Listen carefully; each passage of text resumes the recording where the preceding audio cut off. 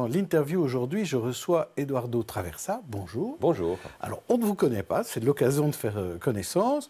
Vous êtes certes conseiller communal euh, à Etterbeek CDH, mais ce n'est pas pour ça que je vous invite. Je vous invite parce que vous êtes un des membres, euh, point de départ de ce nouveau mouvement politique qui s'appelle e-change ou échange. Et donc, on va en parler. Vous allez nous expliquer ce que c'est. Tout d'abord, une question d'actualité par rapport à ces mouvements politiques et à ces nouveaux partis politiques. Vous avez suivi certainement les résultats des élections en Italie. Il y a eu deux grands gagnants. Un parti euh, dégagiste anti-européen euh, qui s'appelle le mouvement 5 étoiles et la Ligue, un parti euh, anti-européen d'extrême droite également, enfin anti-européen également, mais d'extrême droite. Alors quelle est votre réaction? Je vous propose trois types de réactions. Réaction A, ça ne pourrait pas se passer chez nous.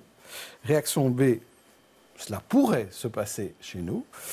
Réaction C, place à de nouveaux mouvements politiques. Alors, ma première réaction, ce serait la réaction B. Euh, ça, pourrait, ça pourrait se passer chez nous. Euh, au-delà de l'émergence de nouveaux mouvements, la, Ligue, la Ligue du Nord est un, vieux parti mhm. maintenant en Italie.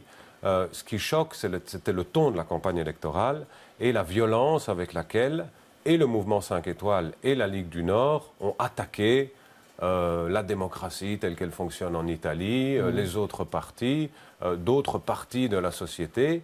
Et cette violence, malheureusement, a payé. je ne pense pas qu'elle soit très constructive.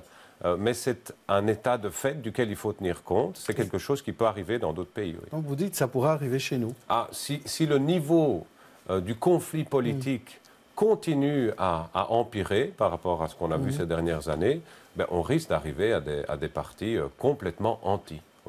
Alors c'est un peu finalement ce climat qui, vous pousse à créer le, mouvement euh, qui était lancé mardi soir euh, dans les locaux du Standard de Liège. donc ça s'appelle e-change. On dit e-change ou échange? Ah, Vous, pouvez choisir. Alors s'il fallait définir ce mouvement en trois mots rapidement, c'est quoi? Alors c'est un laboratoire d'innovation démocratique pour préparer l'avenir. Ok, ça c'est aussi bref. Bon, un laboratoire, ça veut dire que ce n'est pas un parti politique. Ce n'est pas un parti politique. On a des personnes de plusieurs partis politiques mhm. qui restent affiliées à euh, leur parti politique, qui se réunissent avec des personnes mhm. de la société civile, avec euh, des, personnes actives dans le monde de l'entreprise, dans le monde de l'enseignement, mhm. euh, dans le monde des médias, pour essayer de réfléchir à des nouvelles solutions pour rendre la démocratie plus vivante et plus efficace. Oui, il y, a un mot euh, qu'on retrouve dans la carte blanche, vous avez écrit avec d'autres membres d'e-change, c'est « et si on essayait l'optimisme » C'est quoi On n'a jamais essayé l'optimisme en Belgique? Vous trouvez qu'on est, on est particulièrement pessimiste? Mais Pour le moment, oui. Disons que ce pessimisme vient du fait qu'on a l'impression que c'est le conflit qui domine. Donc chaque fois qu'on discute d'une problématique, mm. euh, très vite, on, on en vient à s'écharper, à se disputer sur l'une ou l'autre solution proposée et à la fin, euh, c'est euh, le blocage. Notre idée, c'est qu'il y a moyen de pouvoir dépasser ces blocages, mais à condition de bien, bien préparer le terrain et de s'assurer que toutes les parties qui sont intéressées par la question puissent s'exprimer, puissent contribuer à l'élaboration de ces solutions. Mais est-ce que ce n'est pas quelque chose qui pourrait enliser les discussions, qui pourrait ralentir les décisions, qui parfois doivent être rapides? Euh, c'est certainement un risque. Euh, maintenant, il y a toute une série de, chantiers, de grands mm. chantiers politiques qui sont en souffrance euh, depuis des décennies. Je ne crois pas que c'est parce qu'on prend quelques mois, voire un ou deux ans en plus, pour remettre au centre la réalité du débat, mm. que cela ralentira plus euh, que ce qu'on que, ce peut voir pour le moment. Donc, vous voulez influencer, alimenter euh, le monde politique par, des solutions. Alors, je vous propose, pour mieux comprendre vos, idées et le travail que vous menez, euh, de, de, parler avec vous de quelques problèmes spécifiques et voir si vous avez déjà des solutions. La mobilité, par exemple, à Bruxelles, ça c'est un gros problème. Alors, est-ce qu'il y a une solution proposée par eChange en la matière? Alors, la mobilité, c'est un des grands chantiers qu'eChange propose. Pour le moment, on en propose 10. Peut-être mmh. qu'il y en a plus qui vont venir euh, à, l'avenir. Donc en matière de mobilité, ce qu'on a commencé à faire, c'est réunir euh, différentes personnes, et il y en a d'autres qui vont nous rejoindre, on a déjà reçu euh, des, dizaines de mails à ce sujet hier, qui vont nous rejoindre pour élaborer des solutions concernant Bruxelles, et c'est vrai que on va beaucoup parler de Bruxelles en mhm. matière de mobilité, que ce soit à l'intérieur de Bruxelles, mais aussi les accès de et vers Bruxelles pour essayer d'élaborer une, vision globale de la mobilité. Donc pas se focaliser juste sur euh, quelles sont euh, les réformes à entreprendre à la STIB, euh, est-ce qu'il faut passer à deux, trois, quatre bandes mmh. pour certains accès au ring ou pour, mmh. ou pour le ring, mais essayer par une vision un petit peu orientée vers le, le futur, une vision prospective, de se dire, mais voilà, qu'est-ce qui se passe maintenant avec l'émergence des véhicules électriques? Comment est-ce qu'on va devoir équiper nos rues pour faire en sorte qu'elles laisse la place à un nouveau type de trafic qui soit à la fois de la mobilité douce, mais à la fois aussi une nouvelle mobilité, mmh. euh, soit des voitures électriques, soit euh, des bus électriques. Et pour faire ça, il faut mettre les choses à plat et pas venir tout de suite avec certaines solutions. Euh, il est évident que l'objectif, mais là c'est mmh. clair, c'est de rendre la mobilité plus viable, euh, à Bruxelles, mais en tenant compte de l'évolution technologique. donc là, vous posez les éléments sur la table, je dirais, mais il y a encore beaucoup de discussions à avoir. Oui, tout à hein. fait. Ça veut dire, c'est à quel moment vous allez sortir un plan pour dire, ben voilà, voilà notre idée, voilà le plan tel qu'on le voit? Mais notre idée est de travailler sur la mobilité parmi les tout premiers, euh, mm. les tout premiers thèmes. Hein. Donc on a déjà commencé, on va poursuivre. Euh, nous espérons pouvoir venir avec des grandes, des grandes orientations euh, pour euh, la campagne électorale plutôt régionale, vu que c'est un de thème. 2019. Que c'est un thème. De... Donc l'idée, c'est d'être prêt L'idée, pour la campagne 2019. Oui, tout à fait. L'idée, sur, sur certains grands thèmes mm. euh, structurants, que l'on soit prêt pour la campagne de 2019. Et en espérant que des éléments soient pris par les partis et peut-être aussi par le programme des futurs gouvernements. Oui, c'est ça. Et on est même prêt, parce qu'on a mm. différentes personnes qui sont. Mm. Euh, qui ont passé presque leur vie dans la mhm. mobilité, si vous regardez dans les contributeurs d'e-change, mhm.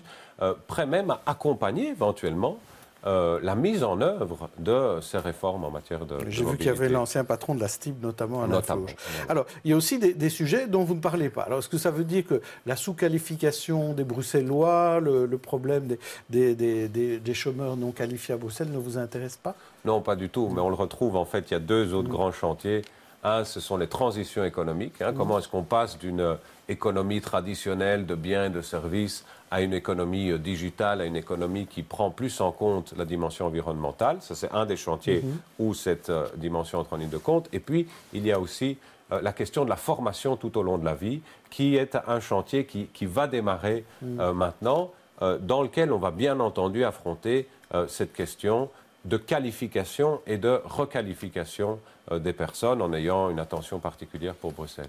Alors un autre élément important sur Bruxelles, c'est Bruxelles, euh, ville cosmopolite, avec beaucoup euh, d'identité, un communautarisme aussi assez important dans, certaines communautés, cette problématique bicommunautaire aussi. Est-ce que ça, c'est il y a aussi une réflexion en la matière? Oui, c'est un, autre chantier, donc mmh. la question de l'intégration. Bon, on en a beaucoup parlé évidemment en rapport avec la migration, mais c'est une question qui date de bien avant.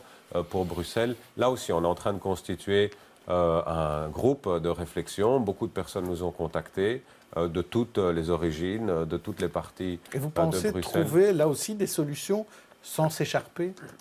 Je pense qu'on peut trouver des, des, visions à long terme. Déjà, le fait que des personnes très différentes, qui a priori ne sont pas censées s'asseoir à la même table, acceptent de participer à la même dynamique, c'est déjà, en quelque sorte, mm. la démonstration euh, de l'utilité euh, d'e-change.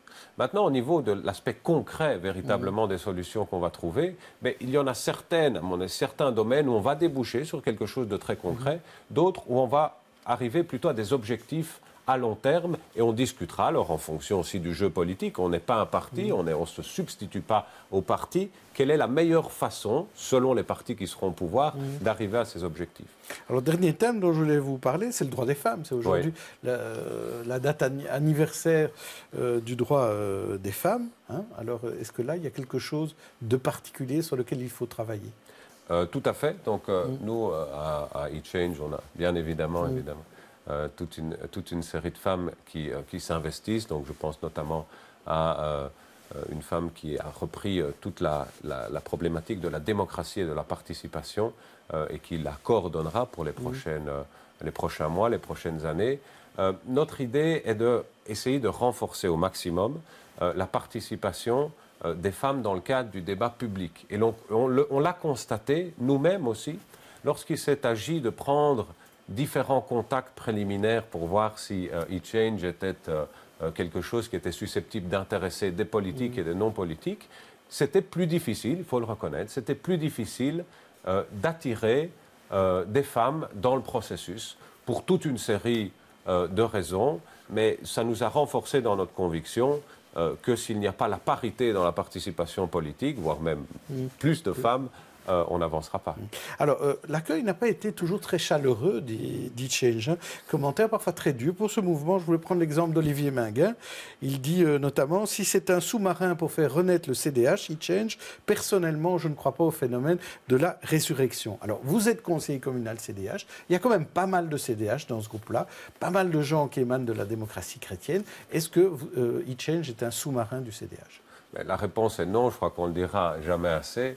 Euh, je, ne connais pas Olivier Minguin, je ne sais pas exactement. Vous savez qui c'est Oui, oui, tout à fait, mais je ne sais pas pour quelle raison exacte euh, il, a, il, a, souhaité dire ça. En ce qui concerne la phrase, c'est toute la démarche d'e-change d'essayer de dépasser justement euh, cela, donc le conflit entre forces politiques pour un positionnement, et c'est vrai, il faut le reconnaître, il y a les élections qui arrivent, les élections communales, les mm. élections fédérales, les élections régionales, chaque parti doit prendre sa place quelque part, et donc il y a ce jeu de positionnement, mais qui laisse alors au second plan euh, les questions plus euh, concrètes en termes de, euh, de, réformes structurelles à entreprendre à Bruxelles.